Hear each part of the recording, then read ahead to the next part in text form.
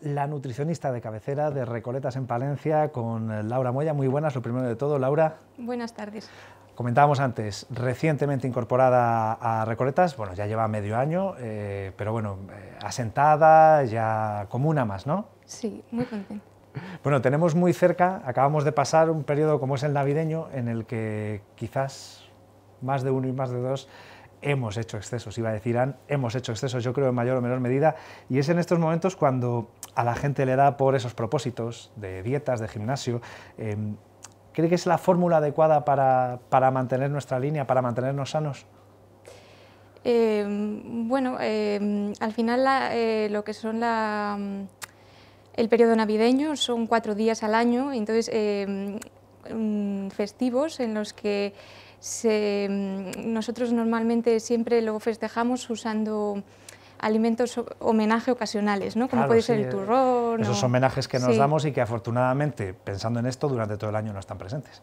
Sí, claro, entonces tampoco hay que sentirse mm, culpable o, llegar al extremo contrario de, no consumir ese tipo de alimentos, pero siempre bueno, pues con un consumo ocasional y, y, demás, o sea que un comer eh, una buena relación con la comida, en definitiva. que no nos castiguemos, que no, no nos obsesionemos después. No sé si nos obsesionamos, ojo, con la salud de nuestro cuerpo, que quizás es lo más importante, o con la estética, que también a lo mejor por ahí pueden venir estos arranques emocionales muchas veces, ¿no? Sí, puede ser, pero bueno, en, en todo caso, em, esa motivación interna sí que puede ser una, una, ventaja para empezar a también cuidar un poco más la, la salud, la alimentación y luego, pues bueno, es un círculo vicioso que puede bueno, pues que puede ser también positivo, aunque al fin, el primer arranque sea esa, esa estética, ¿no?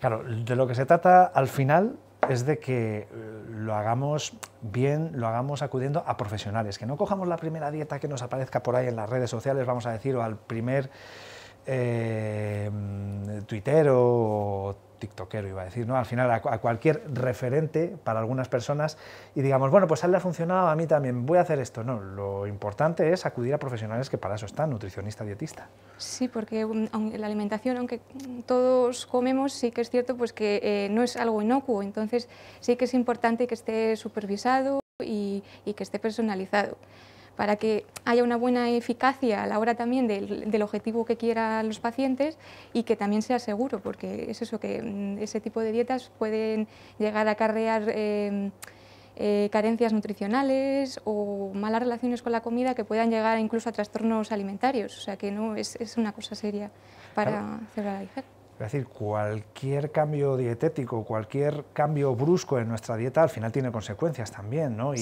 no significa eh, que sea por hacerlo por una dieta más perjudicial, sino que un gran cambio eh, va a suponer también un estrés para el cuerpo, ¿no? Hay que, hay que hacer las cosas piano piano, ¿no? Y con cabeza.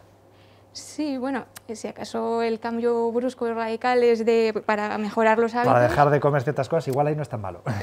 Pero bueno, eh, sí que es cierto que, bueno, la, base de, del trabajo de los hábitos y hacer una evolución, buscar más el progreso que un cambio radical, siempre va a ser más eficaz y duradero.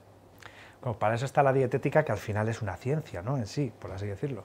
Sí, es la, mm, eh, bueno, la especialidad de los dietistas nutricionistas eh, engloba lo que es la nutrición y la dietética. Y la dietética eh, es como, la, por así explicarlo de una forma igual más cercana, serían como con los alimentos, que es lo que tenemos más tangible, pues organizarlos para tener una buena nutrición, que sería todo aquello que ocurre desde que eh, el alimento entra en la boca hasta que se absorbe y, obtenemos los nutrientes necesarios de, esos alimentos. Entonces, una buena combinación de esos alimentos de forma cuidada y personalizada pues es, es, importante. Es difícil, pero se puede conseguir el equilibrio para que no nos falte ningún elemento en el cuerpo, ¿no? Y precisamente para eso están los, los dietistas ¿no? y los nutricionistas. Sí, sí, es, es importante. Estoy pensando que esas de las que hablábamos, eh, para ahora quien quiera hacer un compensar de alguna manera esos excesos del periodo navideño, eh, no es bueno, lo decíamos, por un cambio brusco o, porque al final también, no sé, quizás se, opta por, por, dietas o por metodologías que no son las más adecuadas, ¿no? Sí, eso, el tema compensatorio por lo ideal sería que lo que es las Navidades fueran una época de disfrute de esos pequeños homenajes dentro de un contexto saludable y que ya, llevado ya el punto de, terminar ese periodo, em, volver a la alimentación previa, una rutina de hábitos saludables, más que, que una cosa, aunque uno se haya pasado, si se ha pasado, pues ya poco se puede hacer, pero lo que hay que hacer es volver a esa alimentación previa a las, a las, a las Navidades, eso es lo importante. estaba pensando, me estaba acordando de la, de la clásica pirámide nutricional, que, que, quizás en Navidad eh, consciente o inconscientemente la invertimos ¿no? y, damos más, más, peso a ciertos alimentos, es volver un poco a, su ser. ¿no? Vamos a recordar, eh, por así decirlo, la razón de ser ¿no? de esa pirámide y que es al final algo orientativo, que no, no es, no es una ley sagrada, pero es verdad que puede resultar muy útil para mucha gente. Sí, y bueno, eh, eh, normalmente aparte de la pirámide lo, lo combino, esa, esa, frecuencia que nos dice la pirámide de alimentación española con el plato de Harvard, un poco los bloques principales de la, de la comida, ¿no? tener ese, ese equilibrio, ya no solo de, de, esa frecuencia ocasional que hablábamos de ciertos alimentos que hay que tampoco sentirse culpable a la hora de, de, eh, de introducirles de vez en cuando la alimentación, pero que sea eso, en una ración eh, puntual y en una frecuencia ocasional, ¿no? como indica la, la, pirámide, ¿no? que estén ahí en la parte de la cúspide porque sean de los que menos se, coman. Pero luego eh, el, hecho de que las comidas tengan e, ese equilibrio que tiene el, plato de Harvard, que introduce vegetales, introduce eh, cereales, eh, la, legumbre o la proteína animal ¿no? y demás es ver qué priorizar ¿no? a la hora de comer. Yo he oído más de una vez hablar de que la dieta mediterránea puede ser una buena base, una buena base sobre la que trabajar, que es, va bastante acorde ¿no? a, las pautas que podría marcar cualquier profesional. Sí, sí, sí, sí, porque es una dieta eh, rica en frutas, en verduras, intentar que sea el mayor eh, eh, variedad posible, el mayor número de colores que se pueden introducir en, la alimentación, ¿no? para intentar pues, cubrir todas esas vitaminas y minerales que nos, nos aportan y luego la calidad de la grasa ¿no? que tiene la, la, verdadera dieta mediterránea, porque luego, bueno, se ha ido un poco se ha ido derivando, ¿no? Y se ha ido mezclando con, vamos a decirlo así, con otras tendencias gastronómicas, ¿no? Sí, se han introducido ciertos alimentos, esos, ocasionales que, reitero, ¿no? Que, que, antes pues, no existían en la dieta mediterránea. No, no existían. Claro, estaba pensando que eh, muchas veces hay unas pautas, no solo alimenticias, sino quizás para ver cómo gestionar nuestra alimentación, ¿no? Unas, no sé si unos trucos, unas pautas, unas reglas incluso. Sí, porque ya no es lo que, lo que comemos, sino cómo lo comemos. Es importante mm, eh, alimentarnos con alimentos de calidad, eh, aunque luego eso que decimos, que si por de vez en cuando se toman otros alimentos, no sentirnos tampoco... No castigarnos. exacto, no castigarnos. Y, bueno, ya sean de, con esa frecuencia que hablamos, es importante pues, tener un ambiente relajado, masticar eh, bien los alimentos, ponernoslo bonito, observarlo, ¿no? un poco un protocolo, eh, no comer, digamos, de pie deprisa, ¿no? Sin disfrutar ni ser conscientes de lo, de lo que comemos. Estoy pensando que hay algunos elementos además que no pueden faltar en nuestra dieta, ¿no? Siempre hablamos de las vitaminas a los niños, se lo decimos, las vitaminas, ¿no? Que la fruta, por ejemplo, eh, vitaminas, minerales que, tenemos que buscar también y, y, quizás también de esa forma sepamos más a qué alimentos dirigirnos, ¿no? O cuáles buscar. Mm, no, no, pues acabo de entender me, refiero a que muchas veces para, para, tener en cuenta cuáles son los alimentos que debemos priorizar, debemos tener en cuenta también esas propiedades que tienen, ¿no? esos elementos, las vitaminas, los minerales, los eh, antiinflamatorios, antioxidantes, ¿no? que quizás eh, si supiésemos también más sobre eso, sabríamos más sobre la alimentación a la que debemos eh, ceñirnos. ¿no? Sí, pero bueno, de base, a partir de las guías alimentarias podemos llegar a, a cubrir todas esas vitaminas y minerales sin preocuparnos, teniendo en cuenta esas frecuencias de consumo que, nos indican. O sea, que en ese aspecto nos facilitan el trabajo, sería em, em, la transformación, la, la, nutrición está cuidada si cuidamos la dietética. sería un poco el, como el que van enlazados. Si va todo de la mano, va, es, es, vamos a decirlo así, un efecto dominó, ¿no? Todo, todo va relacionado.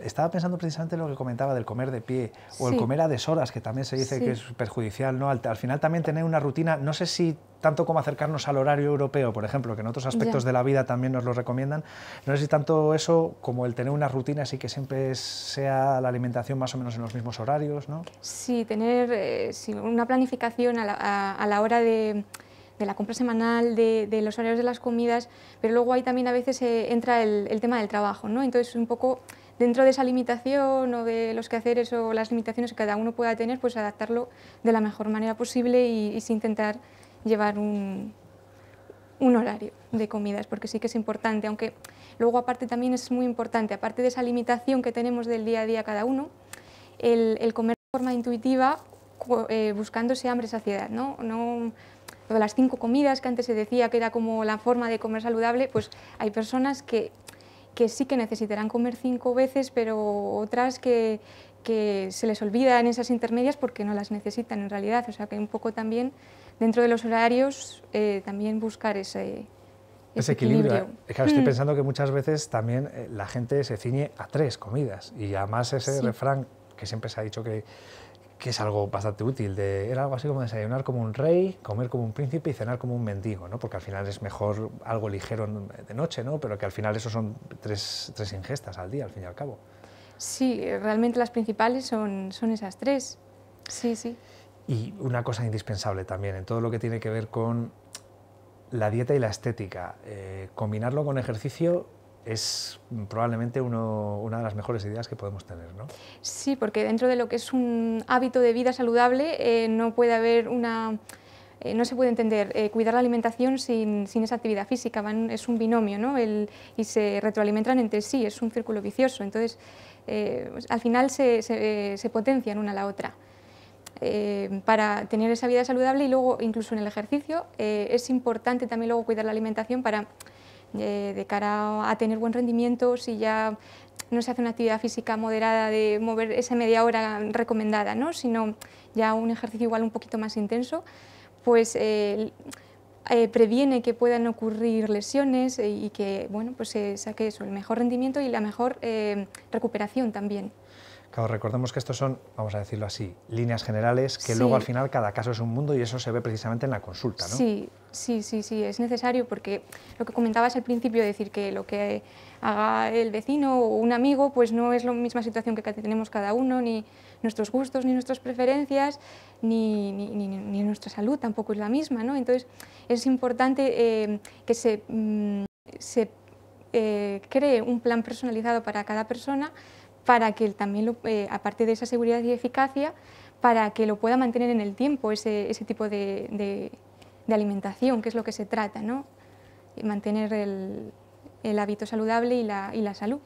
De ahí lo que comentábamos, de la importancia de acudir a, a, profesionales que sepan evaluar y sepan diagnosticar y sobre todo dar, en este caso, no tanto un tratamiento como una dieta adecuada, ¿no? Sí, sí, sí, es muy importante parece que la gente va perdiendo el miedo también a acudir a nutricionistas y dietistas, ya mm, van comprendiendo, vamos a decirlo así, que, al final es lo que mejor va a resultar, ¿no? el, ponerse en manos de estos profesionales. Sí, yo creo que sí que ha tenido una evolución y ya eh, lo que es la figura del dietista, nutricionista, está, está más, está más eh, visibilizada y más se conoce lo que, la función.